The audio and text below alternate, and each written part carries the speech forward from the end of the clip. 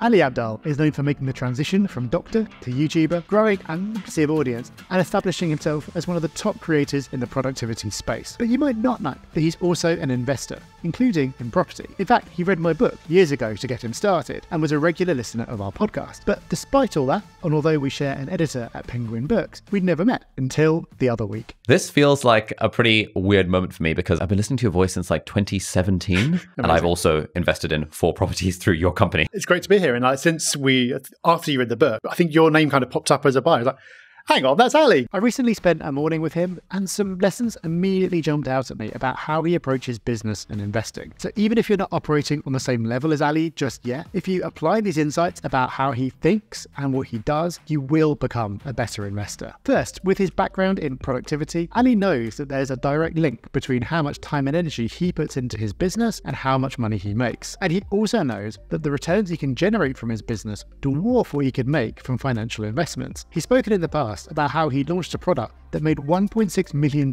in 30 days. There is no financial investment on earth that could get you anywhere close to that. As a result, Ali thinks about every investment not just in terms of its potential financial returns, but also what input of time and focus it'll need from him. And this makes total sense. I mean, imagine if Ali had botched the launch of his $1.6 million course because he was so busy referencing tenants for his buy to let or reading company reports to decide which shares to invest in. It sounds so crazy that that's just not realistic. I see people doing this at a less extreme level all the time. For example, many of our clients are consultants who could charge upwards of £1,000 per day for their time, yet their impulse is always to spend a day driving to a property to inspect it and clear it out at the end of a tenancy because they don't want to pay someone else to do it. Ali has invested in property, and because he understands the value of his time, he's avoided this trap.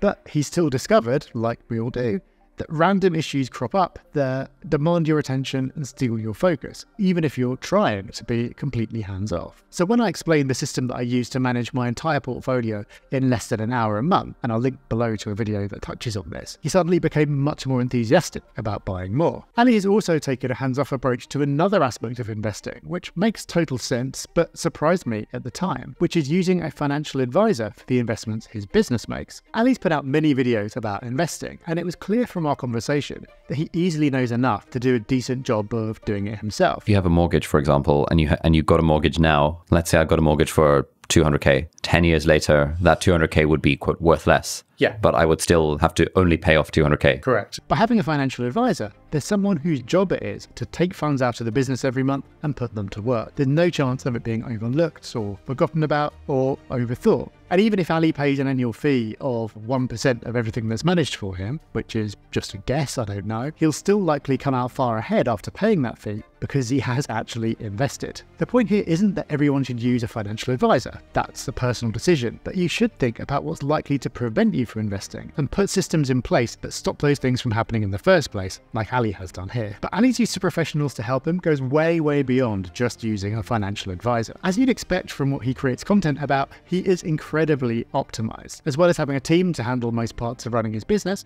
he also has a virtual PA and an in person PA. He described having an in person PA as a game changer, and I can see why, because it means everything's always ready for him and he doesn't have to waste time fetching lunch or arranging transport. It can seem extreme at first, but when it comes to Ali's business, the bottleneck is always his capacity.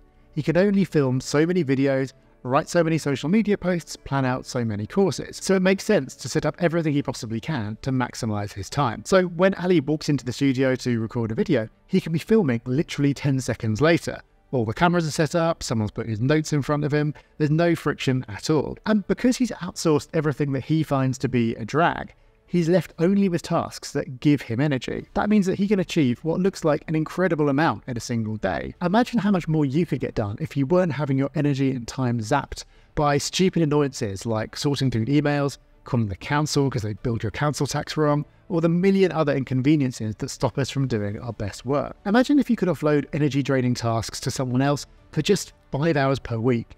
This wouldn't even cost much, especially if they were based in another country and it would unlock far more than just five hours of productivity for you because you'd approach everything else with more energy and you wouldn't have your focus constantly interrupted with annoying tasks from which it takes you time to get back to what you were doing. It could allow you to generate far more cash to fund your property business with, or even make the difference between getting around to investing or not at all. That's something that everyone can learn from to set up their life more optimally. But of course, there are traits unique to Ali that have allowed him to achieve such massive success, and one of them isn't obvious at first, but may just be the most powerful of all. I'm slowly getting better at this, but if there's something I don't understand, I tend to just nod along and hope I'll be able to catch up as we go along. The people who I admire most don't do that. They're not afraid to ask seemingly silly or simple questions, and Ali is a great example of that. He actually asks great questions because he's often approaching a topic from first principles, wanted to understand it from the ground up. And the result is he ends up truly grasping topics well. He doesn't just have a superficial understanding. What is money? Surge pricing. Yeah. Surge pricing. Yeah. What's what, what's the deal with that? Okay, I, I, I still don't quite understand why the government has to borrow money. What are some habits that cost people the most financially? Do you have any rules or principles that are helpful for you and for maybe people that you would advise around saving money each month? His questions might sound basic, but he's not embarrassed to ask them because he knows it builds the foundation of knowledge that he needs before adding more advanced concepts on top. To make this even more powerful, he's constantly pulling in ideas from other fields to compare or to use as a metaphor.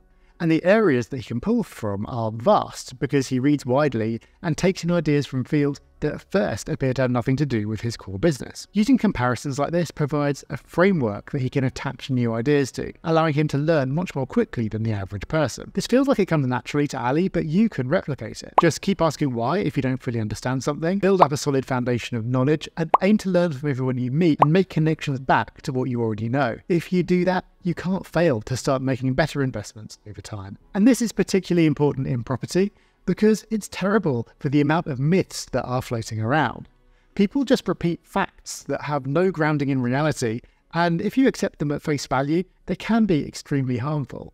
So keep on watching this video where I bust 13 of the most damaging property myths in just 5 minutes, allowing you to avoid the common mistakes they cause and make better investments.